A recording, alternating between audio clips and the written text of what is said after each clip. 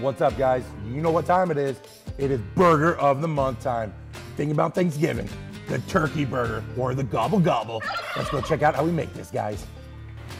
Ooh, here we go, guys. You know how we start out with our perfectly crisp buns. And it's Thanksgiving, guys, so we have to have that turkey burger. But we can't stop there with the turkey. You gotta have that turkey bacon. Oh, saying the Thanksgiving theme. That sweet mash, guys, right on top. What else comes with Thanksgiving?